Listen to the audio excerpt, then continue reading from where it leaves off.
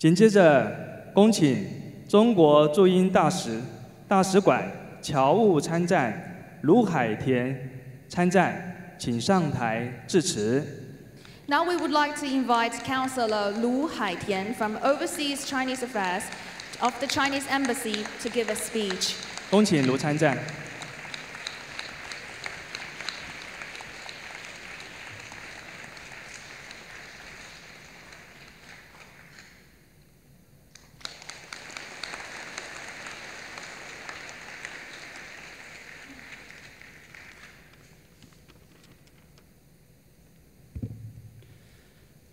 尊敬的净空法师，尊敬的朱三明执行主席，各位侨领、各位女士、各位先生，大家上午好。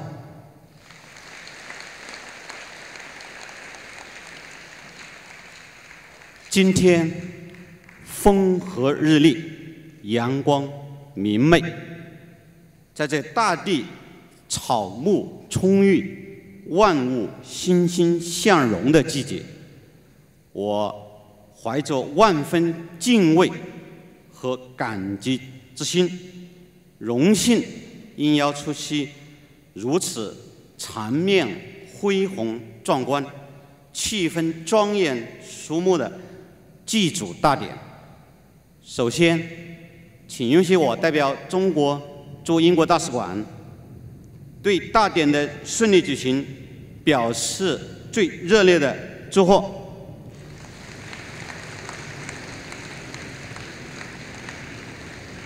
对主办单位净空法师及他的各个机构，英国中华总商会表示衷心的感谢。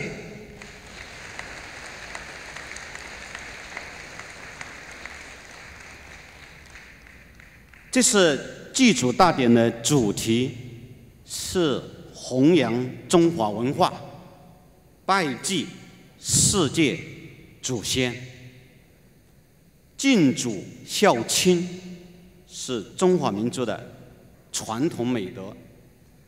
苍天之木必有其根，淮山之水必有其源。饮水定当思源。为人不能忘本。我们怀着一颗虔诚之心来祭奠我们的祖先，寻根业祖。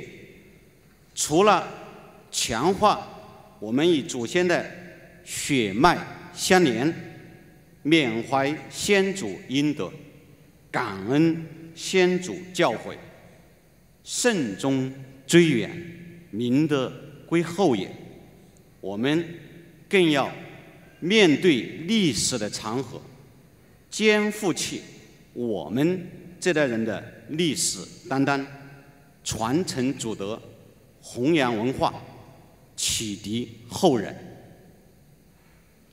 中华民族有着五千年光辉灿烂的文明史，仁义礼智信。温良恭俭让，都可以说是中华民族优秀的传统美德，而孝敬仁义更是被我誉为百行之首、立身之本。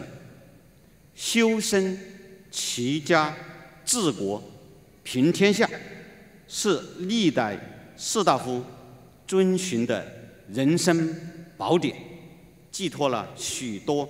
仁人志士的家国情怀，而如今在中华大地，孝敬父母、尊师重教、以和为贵、和睦相处之风依然盛行。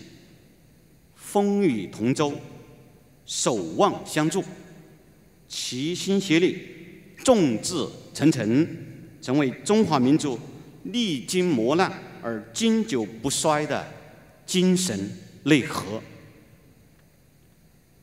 我们有幸生活在这么一个伟大的时代，中华民族正迈向伟大复兴的康庄大道。作为炎黄子孙、龙的传人，在感到自豪以荣耀的同时，我们没有理由不为这个民族大家庭增添光彩、贡献力量。中华民族也是一个包容宽大、与人为善、热爱和平的民族。古丝绸之路不仅是古代亚欧互通有无的商贸大道，也是促进中国与亚欧各国友好往来、沟通东西方文化的有益之路。如今，中国提出的一带一路建设倡议得到一百多个国家和国际组织的积极支持和踊跃参与。在上月，在北京成功举办的首届一届“一带一路”国际合作高峰论坛上，习近平主席致辞时提出，将“一带一路”建成和平之路、繁荣之路、开放之路、创新之路、文明之路，强调要以文明交流超越。文明隔阂，文明互鉴，超越文明冲突；文明共存，超越文明优越，推动各国相互理解、相互尊重、相互信任。“一带一路”倡议之所以应者云集，是因为以和平合作。开放包容、互学互鉴、互利共赢为核心的丝路精神，是人类文明的宝贵遗产，闪烁着永不褪色的光芒。是因为它是共商、共建、共享的事业，让人们看到了和平、合作、繁荣的。前景，化解了对抗与仇恨的恶难。今天的大典是记住世界祖先，正是国家不分大小、民族不论肤色、一律平等的实践诠释和生动写照。我们。生活在同一个地球，人类是命运的共同体。英国是一个伟大的国家，引领着现代西方文明数百年，有着完备的法律体系、金融制度、创意产业。因此，这样的祭祖大典，无疑。